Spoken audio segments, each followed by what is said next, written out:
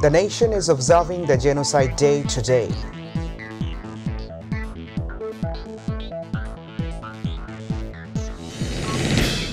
The nation is set to celebrate the 52nd Independence and National Day tomorrow.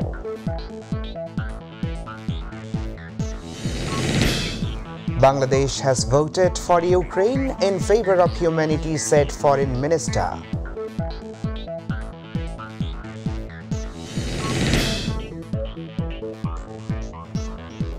Assalamu alaikum. Welcome to My TV English News. I'm Ashikur Zaman with you in the newsroom today. You're watching the headlines, now the details.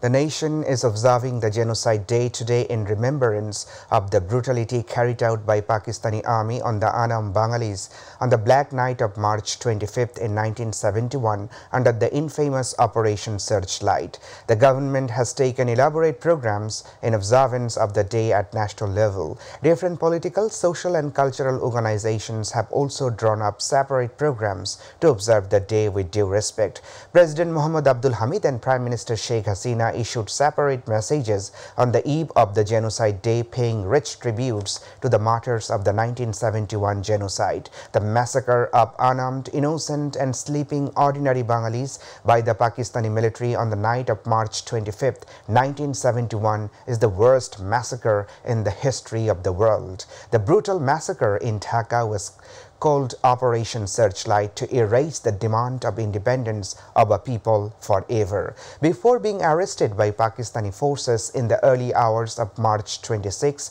Bangabandhu Sheikh Mujibur Rahman declared the independence.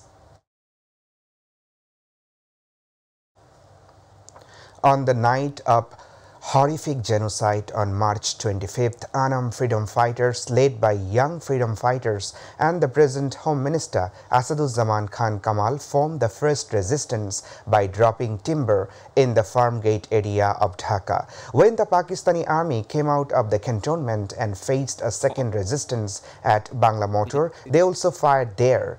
Lutfur Rahman was the first martyr. Then they carried out barbaric killing on sleeping people. At that time, the whole city of Dhaka became a city of corpses. Zubair Rahman has more on the special correspondent Sheikh Nazmul Haq Shoikat's report on the Operation Searchlight of the Pakistani aggressors. When all the talks of Bangabandhu failed to liberate this chain of Bengalis, the Pakistani aggressors decided to carry out genocide in Dhaka on the night of 25th March, realizing that the freedom-loving people occupied the highway. The first resistance against the Pak army was formed in the Farmgate area of Dhaka on the night of Operation Searchlight. Incumbent Home Minister and freedom fighter Asaduzzaman Khan Kamal took part there. He said that Lutfur Rahman was the first martyr that night to create resistance in Banglamotor area. People break out on the street to protest with whatever they have with them.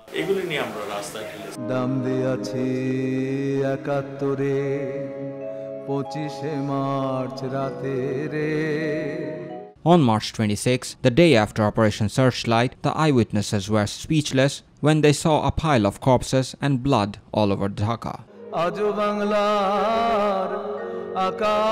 Bangabandhu's daughter Sheikh Hasina made the demand for the International Genocide Day on March 25, 2017 at the UN General Assembly in the United States. Zubair Rahman, MyTV News Desk. Industries Minister Nurul Majid Mahmud Humayun has said that March 25th should be observed internationally. He added that the Pakistanis wanted to deprive the Bengali nation of knowledge through the genocide. The Industries Minister said this at a discussion meeting of Sampriti Bangladesh at Tofazal Hussain Manik Mia Auditorium of National Press Club at noon. Convener of Sampriti Bangladesh Piyush Bandopadhyay presided over the meeting. The nation is set to celebrate the 52nd Independence and National Day tomorrow in a befitting manner. The government has taken elaborate programs marking the Independence Day and National Day. The day's program will begin by heralding gun salutes early in the morning as a mark of profound respect to the heroic struggle of the nation, which suffered a protracted subjugation under the foreign rules from time to time till achieving the coveted independence in 19 71. The national flag will be hoisted atop at all government, semi-government, autonomous and private buildings with the rises of sun, while all streets and important intersections will be decorated with national and multicolored miniature flags and festoons. People from all walks of life, including families of Bir Sreshtas, war-wounded freedom fighters, members of diplomatic corps, leaders of different political parties, social, cultural and professional bodies will also lay wreaths at the National Memorial in the morning of the day. Bangladesh has voted in favor of resolution in the United Nations General Assembly to take immediate action to resolve the humanitarian crisis caused by Russia's invasion of Ukraine. The proposal was passed by 140 votes. The vote was taken at an emergency session of the Council at the United Nations headquarters in New York on Thursday. After Ukraine raised the proposal on Wednesday, 140 member states voted in favor.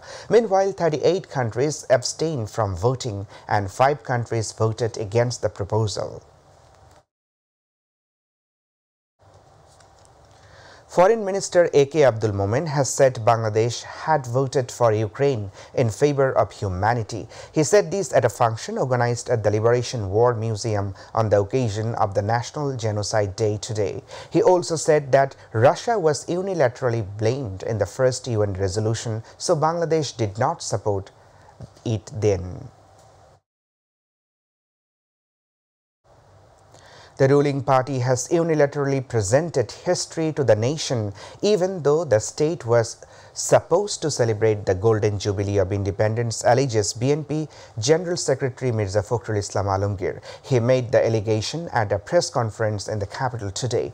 BNP is trying to highlight the correct history, said the party's standing committee member Khandokar Musharraf Hussain. For this, the leaders of the party will visit Kalurghat radio station in Chattogram on March 26th. At least four people were killed when a CNG-powered auto rickshaw collided with a pickup at Raipura in Narsingdi. One more was also injured in the incident. The accident took place at Amirganj area of Narsingdi Raipura Regional Road in the early morning today. The deceased were identified as Ainuddin, Kayum Mia and Abdul Rope. However, police are yet to find out the identity of other victim. At least two people, including a former General Secretary of Motijhil Thana unit of Awami League, Jahidul Islam Tipu, were shot dead in Shahjahanpur area of the capital on Thursday night. Another deceased is Samia Arfan Priti, a student who was passing the area on a rickshaw. According to sources, miscreants opened fire when Jahid was returning to his Shahjahanpur residence in a car. Jahidul's driver, Monir Hussain Munna, also sustained bullet wounds. All the three injured were taken to Dhaka Medical College Hospital, where duty doctors declared two dead.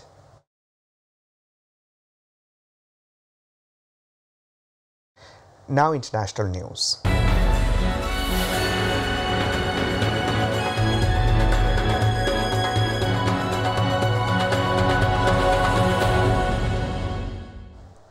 The summit of NATO, the European Union and G7 alliance in Brussels has called for further strengthening of NATO's defense system. The meeting also decided to deploy another 40,000 NATO troops in Eastern Europe. Just over a month after the Ukrainian war, leaders of the military alliance NATO, the European Union and the alliance of developed countries met in Brussels. Russia has also been hit with new sanctions. The White House has confirmed that the first round of $800 million in military aid to Ukraine has arrived in Kiev.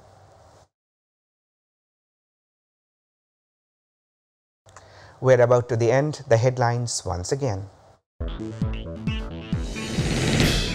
The nation is observing the Genocide Day today.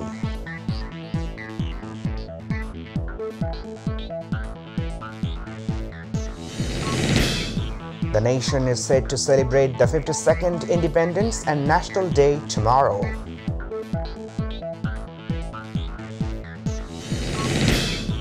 Bangladesh had voted for Ukraine in favor of humanity, said Foreign Minister.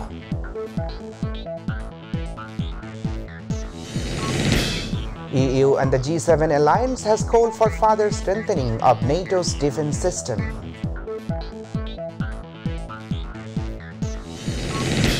And Italy once again has been eliminated from the World Cup qualifiers in Qatar.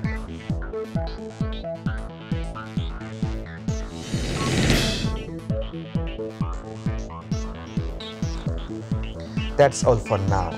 To watch our news online, please visit YouTube slash MyTV News. To watch our old program, please visit YouTube slash MyTV Bangla and Facebook YouTube slash MyTV Bangla. Our next news bulletin will be at 7.30 p.m. in Bangla. Alaves.